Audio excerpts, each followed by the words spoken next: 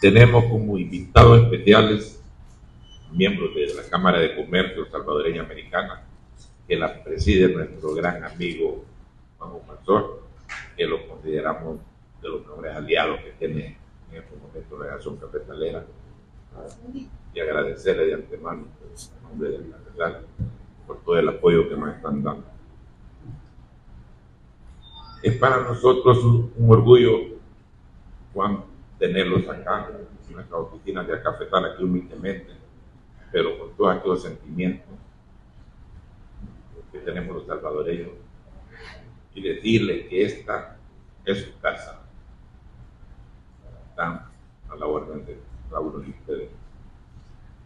Yo sé que, que ustedes para nosotros es el mejor equipo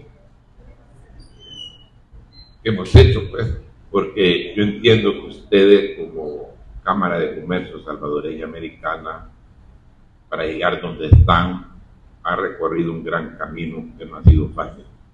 Y nosotros como Acafesal, no solo como Acafesal, sino como salvadoreños, nos sentimos orgullosos que estemos representados por ustedes en un país tan grande como Estados Unidos. Es de reconocer eso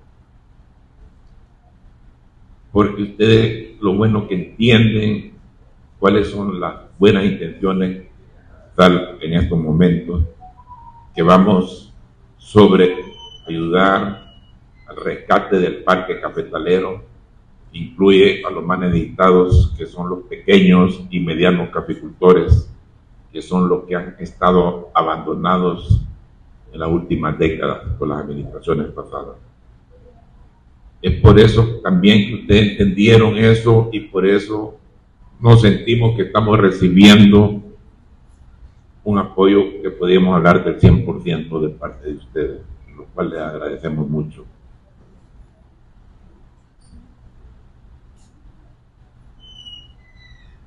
Y este día, después del evento, a nombre de, nuestra Junta de, de Gobierno de la Nación Cafetalera, después del evento, Queremos hacerle un pequeño reconocimiento, Juan, un actor, humildemente, pero de todo corazón.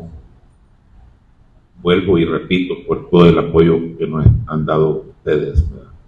Yo sé que de ahora en adelante vamos a seguir haciendo equipo y es la única manera como sacar nuestro país de donde están ahorita.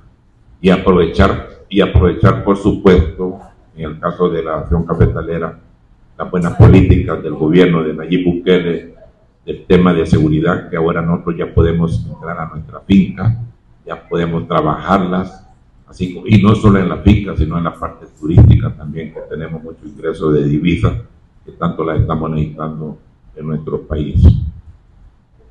Déjenme decirles, amigos de la Cámara de Comercio, que nosotros estamos orgullosos al estar representados por ustedes en los Estados Unidos, como les repito. Y, y vamos a seguir adelante en todo esto.